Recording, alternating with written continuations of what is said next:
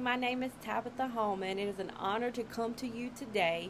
I want to talk to the young people about being a follower of Jesus. Amen.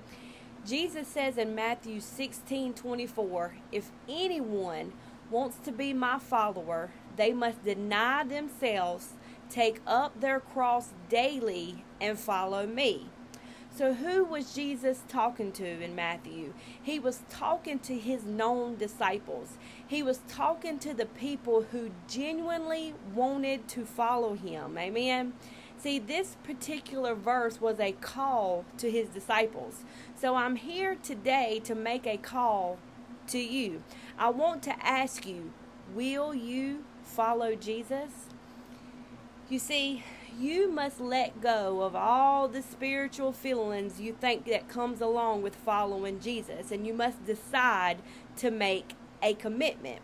A commitment is not going back to the way things used to be.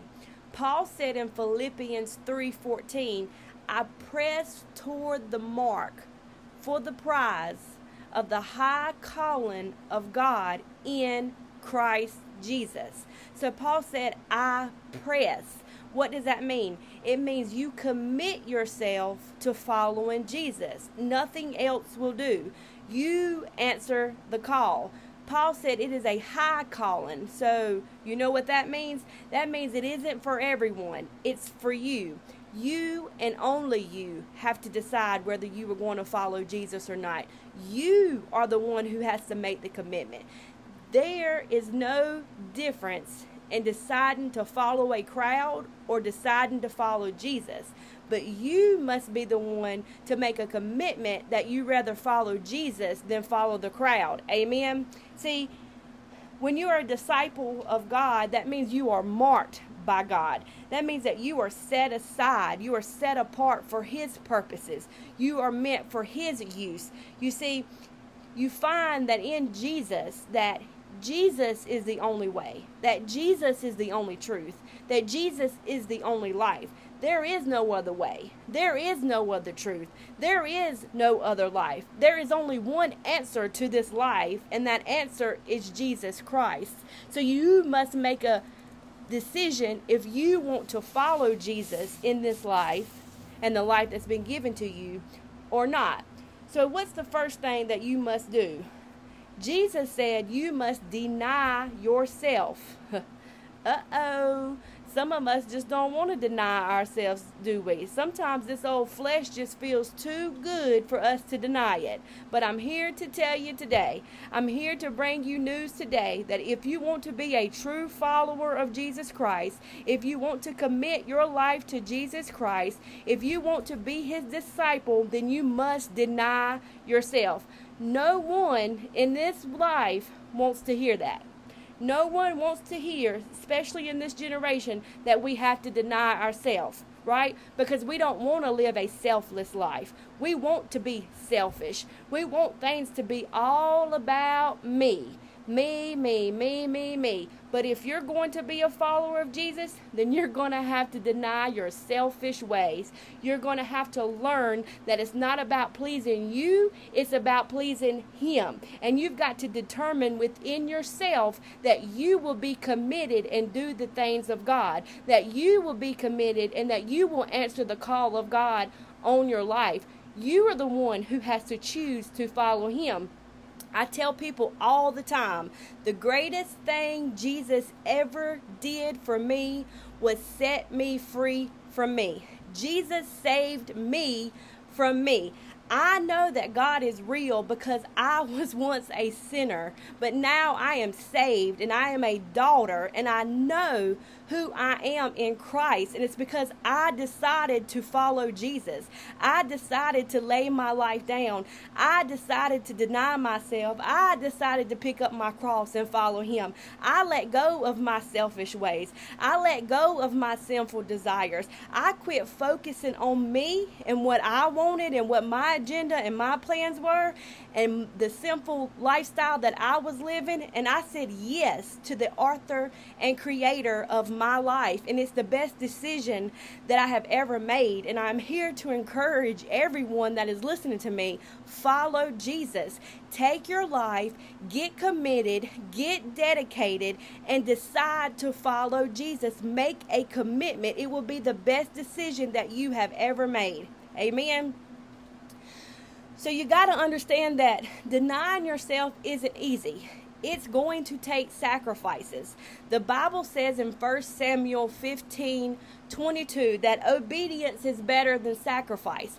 So, what does that mean? It means that your obedience is evidence that you are a true follower of Jesus Christ. Because let me tell you, if you are not going to follow Jesus, your life is evidence that you're not following Jesus. And if you are following Jesus, your evidence is in your life is evidence that you are following Jesus. It's evident. It's evident if God is the first in your life or not. It is evident if Jesus is center of your life or not. So back to obedience is better than sacrifice. You see, the more you begin to follow him, the easier it becomes. You know, it don't start off easy. You know, the more you go, the more you press, is the more you grow. He said, I press for the high calling. So the more you go, the more you grow. So go towards Jesus, run towards Jesus, follow after him. That's the way you're going to grow your life. That's the way your life is going to go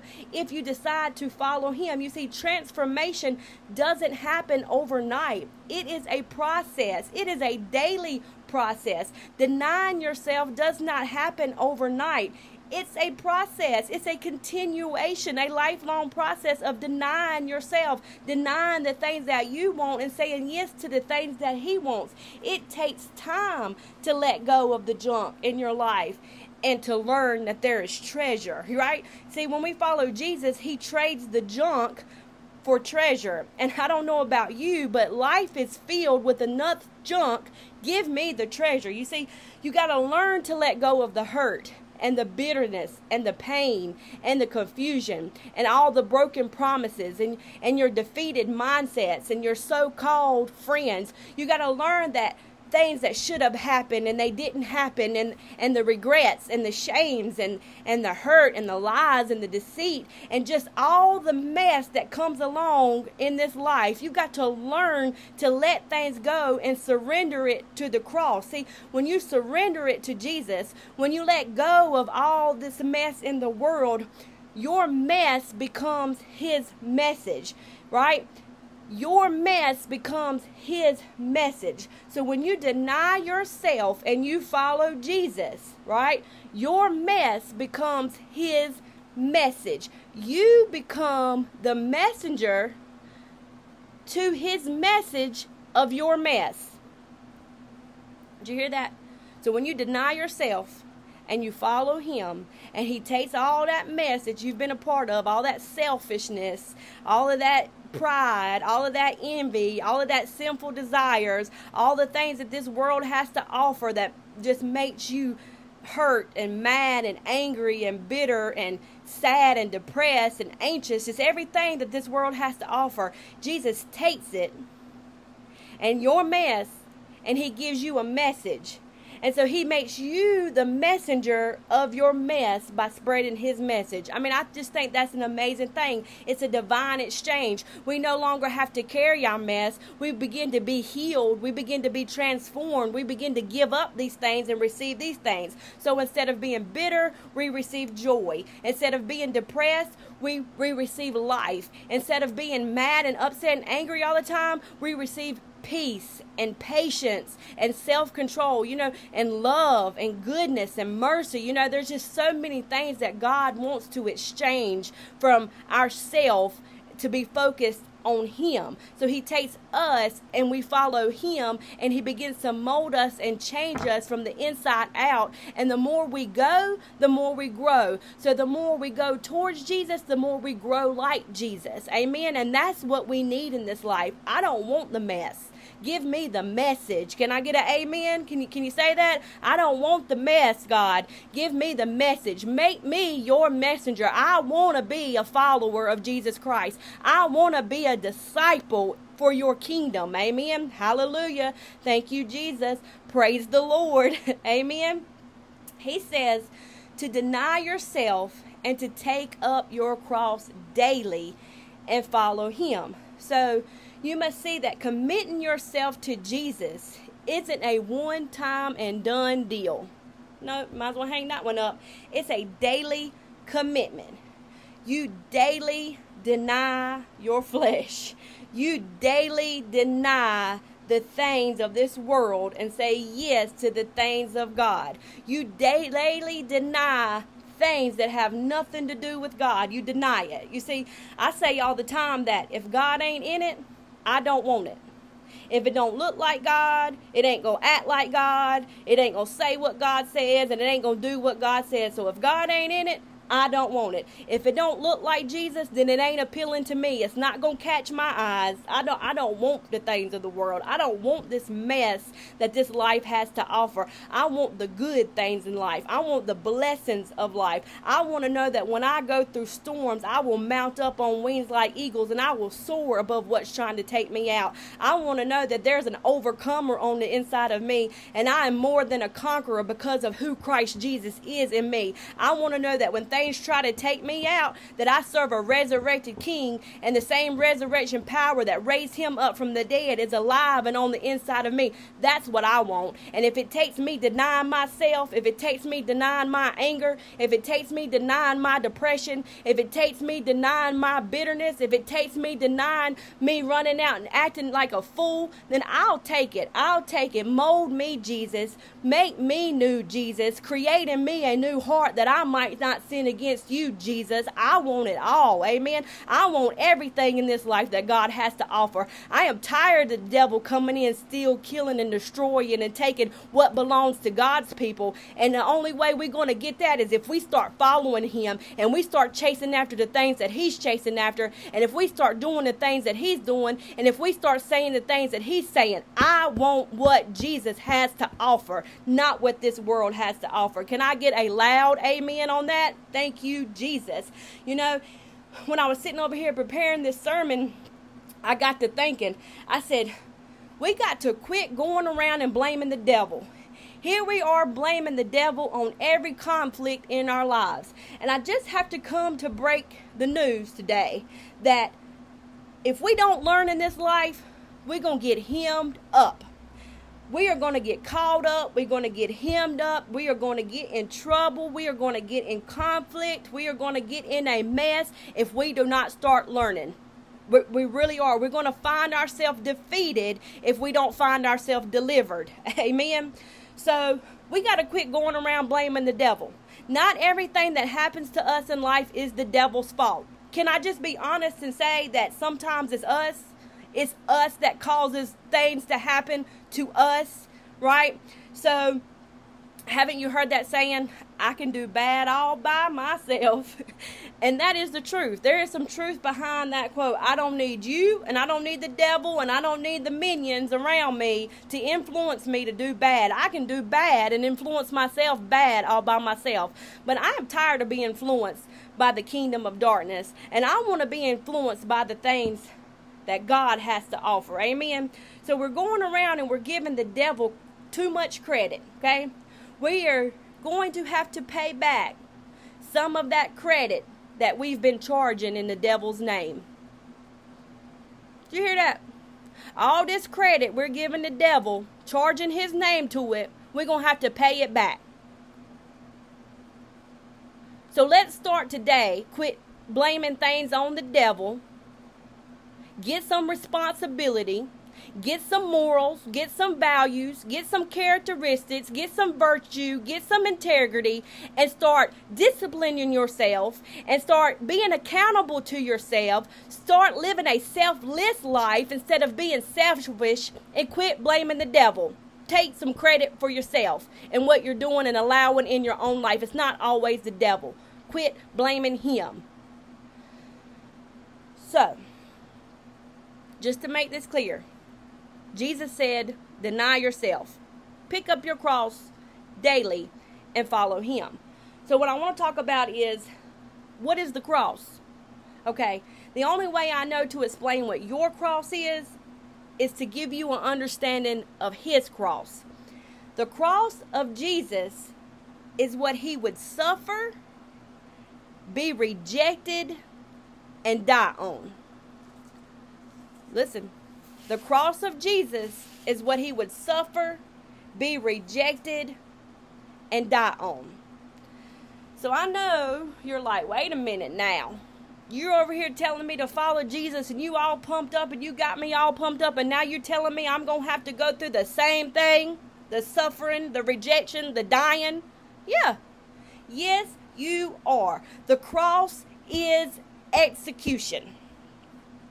Just as serious as Jesus was to give his life to die for you so that you could live is just as serious as the call of God and the committing yourself and the denying of yourself so that you will follow him, so that you will live your life for him. He died for you so that you could live for him. So being a follower of Jesus is a radical commitment. Okay, do I have any radical believers watching this? Can I get an amen? Because I know I'm a radical believer because when you follow Jesus and you're committed to Jesus, it's something that you just cannot rationalize in your head. You just cannot begin to play heart games and mind games with the cause of Christ. You see, following Jesus is a genuine commitment by a true believer of Jesus Christ. It is saying, Here I am, Lord. I want to be a disciple. I want to be fit for the kingdom of God.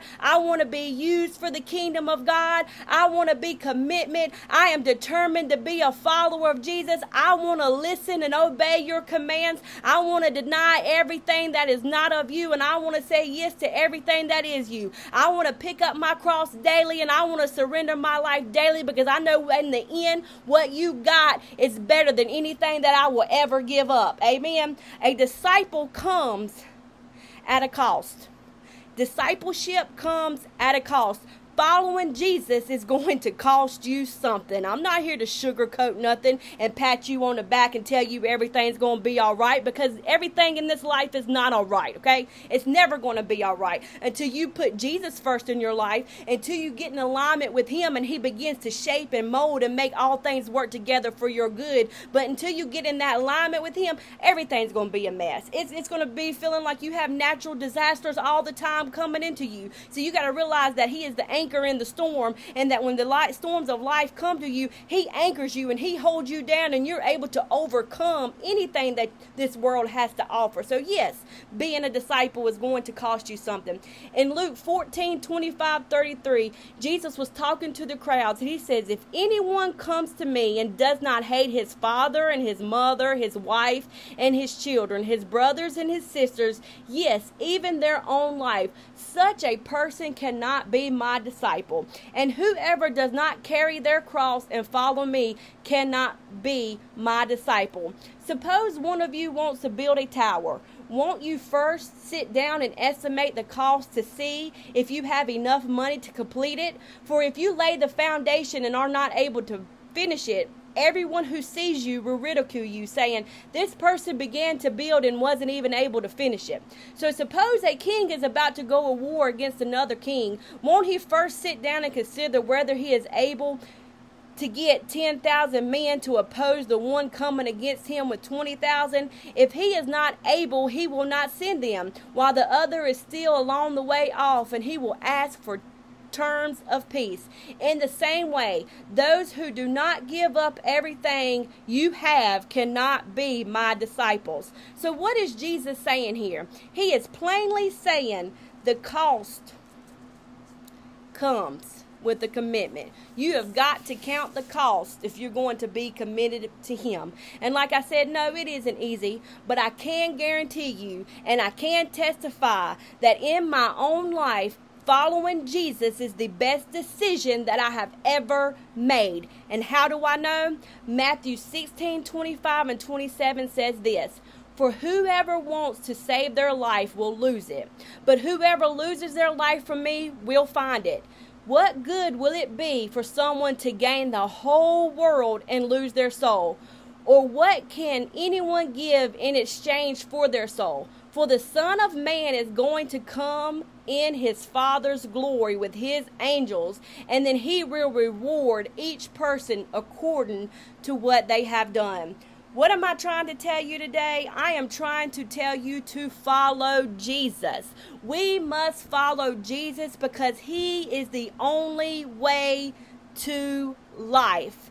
Finding him is finding you. And you will never discover who you are if you do not first make a decision to discover who Jesus is. So, in closing, I just want to say a quick prayer today, Lord God. I just ask that we would surrender our lives to following Jesus, God, that we will make a daily commitment to surrender our lives to say yes to the things of you, God, and no to the things of this world. May you bless this word. May you bless the hearers, Lord God, and may you bless us to be doers of this word. In Jesus' mighty name, amen. God bless you.